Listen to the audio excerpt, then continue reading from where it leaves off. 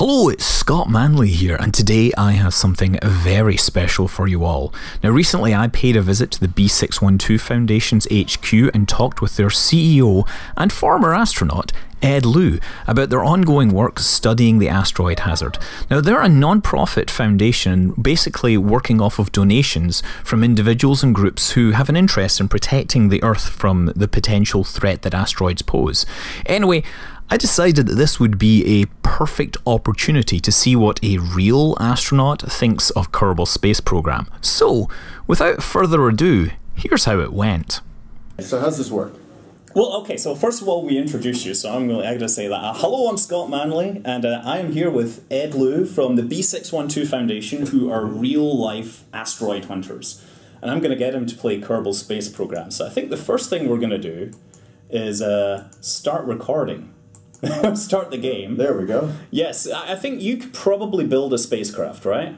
All right, let's give it a shot. Let's give it I'm a building shot. one for real. So. Yeah, you're, yes, you've been in one for real, right? and, and I'm building one for real. You're building one for real to do what? We are going to find all the asteroids in our solar system that could hit the Earth. That is, it's good to know if something's going to hit the Earth so we can do something about it. Yeah, it, well, it's it's like if you know the threat's there, you can play the game. But if you don't know it's there, you can't play can the game. You can't deflect an asteroid you haven't found. That's what we like to say. Yes, that's very important. I figure once we find it, everybody will be uh, all behind a, mass, uh, a I mission think, to deal I, with I it. think funding is not an issue if you find something that's going to Yeah. hit the Earth. Well, anyway, funding is not an issue here. Why don't you start uh, picking some pieces here? Now, you Okay. use the mouse, you click on items from the left. I would start with a space capsule, is a good thing here. Uh, This one here is a, a, a lightweight command pod. It's a little like the Mercury spacecraft. alrighty, um, that, that's good with that. there. Propulsion. We need propulsion. Yes, you need propulsion. Propulsion is good. Propulsion is very Let's good. go with liquid. Well, you're going to need fuel for these things. That's one Uh-huh, thing you might okay. want to do. Oh, these don't come fueled, huh? They don't come Oh, fueled. you they're need to add. yeah. Yeah, you need to put put in fuel tanks for it.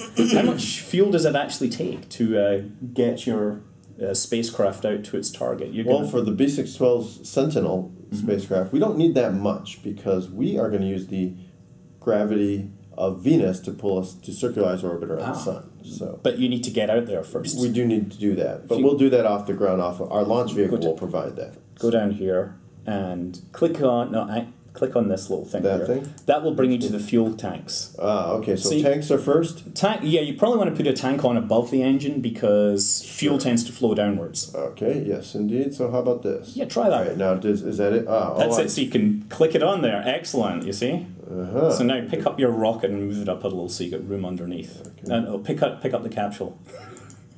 will, uh, will it it- stay attached? It will Ah, stay. It will. The whole thing will be moved. You have Ah, now the okay, ability to lift rockets. Oh, cool. 18 tons We don't even we don't even need a crane. You Awesome. don't. Yeah. So let's put an engine on the bottom. Of this. Okay, so that's back on page one there. Okay, I see what we've got here. Yeah, you got you got this figured out. And uh, this is is this bipropellant? This is a bipropellant engine. Yeah. Uh, Okay, it- I'll take it. yeah. It looks like they use uh, you know liquid kerosene and uh, liquid oxygen. I would think. Okay. There you get yourself a basic rocket. Okay, now. there we go. So now we need a booster to get this puppy up in, into space. right? Wow, I think you, you already have the most powerful thing. You could have some solid rocket boosters there. Yeah, we don't want no solids. Well, actually, we do for get first stage here. Yeah, well, Right, well so- why don't you strap those on the side? Uh, like that. Or Yeah, that. or like that. They're all fancy names. Okay. And we'll just. How many do you want? Uh, let's go with uh, two. Two. Let's go with two. Okay, so you've got one on each side. You see it set up the symmetry? Yep, Okay. And now I can go back and strap on uh, some solids. Yeah, that's on your first page as well. You actually have an asteroid there because we ha- we're developing an asteroid. Uh, that's the tiny one. That's the bigger one. All right, we'll take those.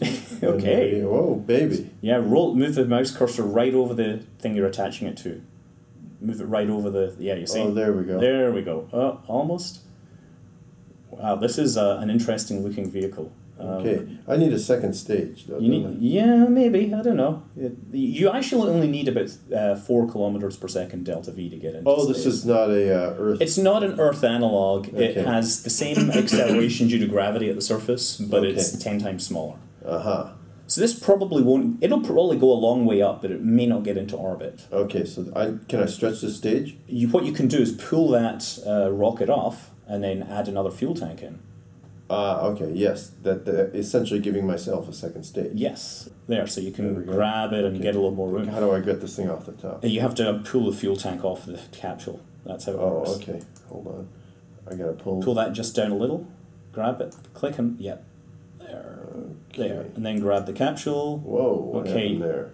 You just clicked on an- a window outside the purview of this. Just close it. Close that. Yes. Oh, and now we get a different window. Just click back on the. This is a Mac. You know how these things work, No, actually, right? I don't use a Mac. What? But you're like just down the road from Cupertino, right? yeah, but I, I, I Oh, noticed that you're like up in Sand Hill Road, which is where all the investment in Silicon Valley. yes, comes. and it is not a coincidence that we're located here because many of our large donors, and we are supported by private donations, Mm-hmm. live up and down Sand Hill Road. So I was going to comment that it's really, it is like an investment on the future. Really, it's the ultimate investment. it, uh, and you know, saving the world, so to definitely speak. is. Uh, let's see here. Can I just throw that's these, or- that's jet fuel. You want to go into page two if you want another fuel Oh, tank. okay, yeah. Yeah. Where did we get that fuel tank? No, you can pick any of these, things. That's an, that's another one, right? Yeah. Okay. you can do that one. So who do you have as donors that are there anyone you can you know, attach to the capsule only? Ah, okay. Every, everything comes from the capsule here. Okay, and then grab here and then move. Uh, no, everything has to go. That's the thing. When you move that, Oh. it's it's complicated, but it's a lot easier than building real rockets. Yeah, there we go. I think we ought to get to orbit. You think you think that'll get you to orbit? I'm, I'm guessing. I don't really know. Um, do you want to maybe put a parachute on the capsule so at least your dude can escape? no, okay. Let's hit the green button and launch. I hope Okay. you're not colorblind. No, let's No. ready. Here we go. So yeah, you but you're you know you spent you've been on three missions. Yeah, So yeah. you've been to Mir and ISS. I've been to ISS, Mir, flown shuttle, and Wow. flown And- uh, Soyuz.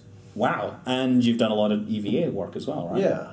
Okay, so So here we go. So here's your controls. You're But going to to have answer your question about donors, though, we have uh, uh, a lot of our major donors, those who don't wish to be anonymous, are on our website. So Oh. if you go to the b612foundation.org, you, you have can read about there. Sentinel and what we're doing, and you can see, if you really care, uh, some of the people who are supporting us. And And, if you would like to support, you can join them.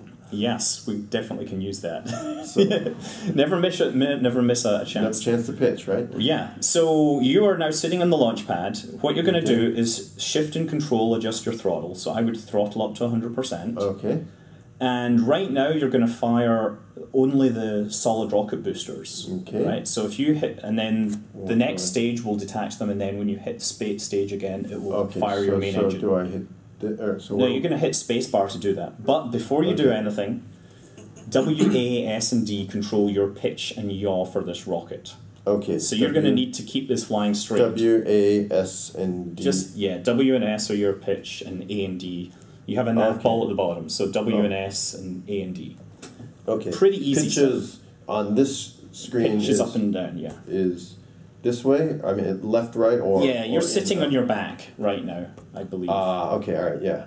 Alrighty. with the back head I'll, facing. I'll, up. I'll figure it out. You'll I'll, figure I'll it out. little You're bit. gonna go. You're gonna want to go to the right. Anyway, so hit space to start things, and then And then- there you go. So So you're we're moving. so you're not moving very fast. So I want to If you- pitch a little bit, Mm, I would. I would. just you, a tiny amount. you're pitching north, right? Oh, is that? Oh, I see. I, I wanted to rotate, You so I want to unpitch. Yeah, you want to hold the Unpitch. S to unpitch. Okay, and it's getting kind of late now. Yeah, I think. I think. I, should have. I did that too early. yeah, you know, one of the problems is you don't have any control surfaces on this thing. Ah, I see what's going on here. So we don't have active control. You don't have active control on solid Oh, you didn't tell me that. You didn't ask. You naturally presume these things because real rocket scientists would do this. I would. have I thought we would have had uh, active control. Yeah, let's uh, let's go back to the vehicle assembly building. You can Okay. actually put little uh, control vanes on there if you like, and Okay, give ourselves a little bit of stability. close the FAR thing again. If you look up at the little wings icon at the top, Uh, wing. wing is aerodynamic. Go to the right. There, that's a wing. That. There. Now, if Okay. I would suggest putting four, that's a tail fin, but that doesn't have any flaps on it. You have these things here, which actually have winglets. Uh, I believe this is an a- active control winglet. There you go. Okay, so. So you can stick that on the side of your rocket, and that'll at least give it I- some. Uh, let's put it on. And I get it onto there, Yeah. and I'm going to try try and move it around so it doesn't hit your. There, that should work. Now, another thing I noticed was that the main engine wasn't firing. Yeah. Right. So, do you want the main engine to fire straight away? Um, actually, yeah. Let's let's Okay. go. Let's go. So what you do is you pick it up from the stage, pick up this thing, and drag it down to stage two. Drag it. Uh, I'll drag it to Yeah. stage two. there you go. So now that will fire at the same time as your Okay. SRBs. So Alrighty. you should be able to hit the green line and uh, the green icon and go to space. Okay. How much time have we got here? We have it says eleven twenty three. We have just we have minutes. six minutes to get into orbit. All right. So so what I actually want to do now is is rotate then. You want to rotate using the Yeah. um, it was D or D. I think will turn you the right way. do I want here? Okay. D. So let's Alright, so throttle up Throttle up. and hit space. You now have Bill Kerr. Wow, you're going a lot faster now. Yes, indeed. So if I go D, Yes. all right. Right, A so- little bit more. A little bit more. Now it's going to want to go back because you have these control surfaces Yes. that are kind of I- keeping you so I see straight. how we can do this. Wow, you're getting some Mach effects there. You are going. You are really going right, fast this here. is uh, rather early, but my intuition may be wrong because this is not a. Uh, yeah, it's not a real spacecraft. Yeah. You have. You can see the G meter. You're accelerating Yeah. at about four where's Gs my G? Down here on the side. Uh. In fact, your solid fuel rockets aren't going to last oh, I'm getting some serious shock heating. Yeah, I think you over you Okay. used Uh, an engine that's a little too big. Uh, okay. So why am I rotating like that? I don't know. Uh, perhaps it's the con- the pilot. oh dear. okay. How do I? I'm, Hit I'm space. go. Okay. So have So now, how do I pitch up? You um, you're spinning out of control here. You're gonna have oh Q and E will control your roll by the way, which Oh, is kind okay. of important. Yeah. Oh, okay. All right. Let's. There you go. Okay, you let's see. Let's gotta stop the roll. Okay. Yeah. Now, how do I fire up? Is this engine firing? Shift will fi- the engine has you hit X, so you turned off the engine. All right. I Um, just hit shift, and I can't tell if I'm No, hold. Shift to in- throttle up. okay. And now I need to. What, is that you're the not way? Is that not to holding Shift yet. Oh, shift. Yeah. Uh, there you go. But Okay. stop that spin. Yeah. How do I? Is that yaw? Yeah, I think, and then you're now pitching up. Oh my okay, goodness! there we go. Now we're rotating. Well, you're recreating okay. Mercury, Yeah. Let me see if I can. uh, except you don't have a parachute. Actually, Yeah, I don't quite know which way is. Bill is kind of freaking out in the bottom right corner He's here. He's having a tough time. Okay. I I think I'm out of. Oh, it's S. Not. I'm pressing S, X. yes. No okay. but you're actually spinning sideways now, so you need to press A, I think, to kill that rotation. All right. Yeah, that's the thing I gotta. Yeah, they, I'm sure they train you in this kind of thing They when do, you but went, it doesn't right? look. But we didn't have a keyboard. you didn't have a keyboard. You actually had some proper controls. Yeah. That's that's right. It doesn't. I It doesn't in- appear to be doing anything. I don't. Am I? Do I have any? You do, but it's just left? taking very. It has a very small spacecraft with a very small amount of RCS, so you have to hold it for a long time. I think Because it doesn't appear to be slow. you're now accelerating in the wrong direction. That's the thing. Yeah. You use the nav ball; it helps. See how if you just hold the D key, you will kill most of that. Okay, you have, you have a couple more minutes to get this thing under control. Okay, it's slowing now. Yeah. No. Now I want to hit the S key. Yes. right? oh, there! Look, there's your. That's the marker you want to aim for in the sky. Okay, That's your yeah, velocity. There it is. That's the retrograde marker. And, and I want to go towards it. No, you don't want to go towards the retrograde marker, do you? Uh, Which one's which? That's the prograde that- marker. Ah, there we go. There we So go. I want to go this way. Yes. Oh, now I'm understanding what these things mean. Yes, it, it, it's mostly. Okay. I, I don't know what the space shuttle actually has in terms of control. So you, you weren't a pilot. You were a mission specialist. Uh, yes, although I am a pilot, Although you are a pilot as well. but I I'm beginning to understand this now. no, no, okay.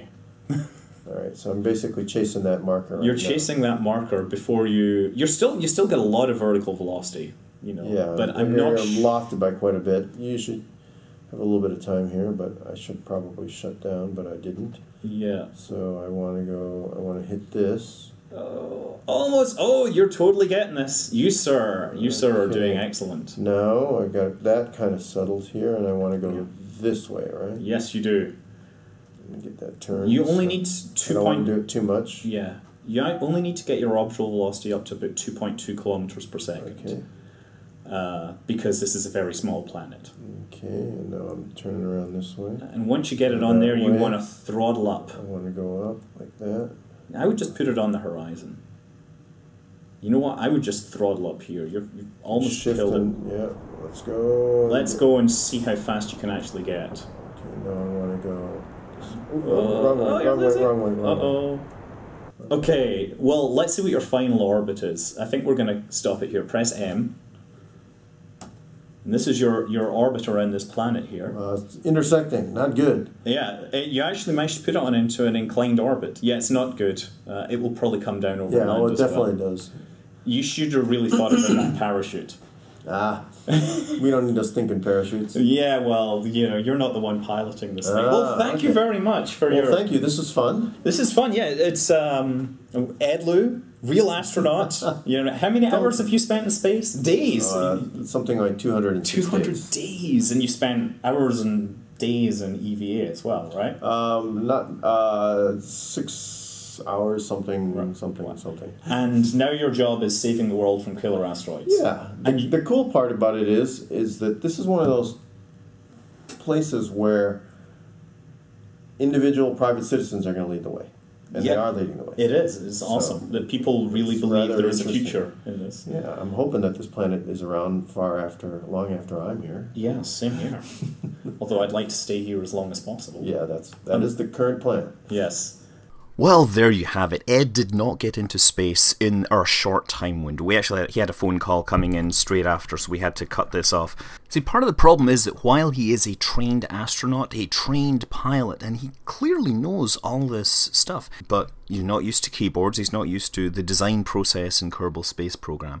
And it's understandable that it might take more than a few minutes to learn these things. So take heart. If you can't learn all the physics and the astronomy and you're having trouble getting to space, that's okay. It takes all of us a bit of time. Ed Lu is a very qualified individual. He knows probably more about space travel than me or many other people, and he also knows a lot about the, the asteroid problem, which is why it's great to see someone like him doing tangible work in uh, essentially addressing the asteroid hazard problem.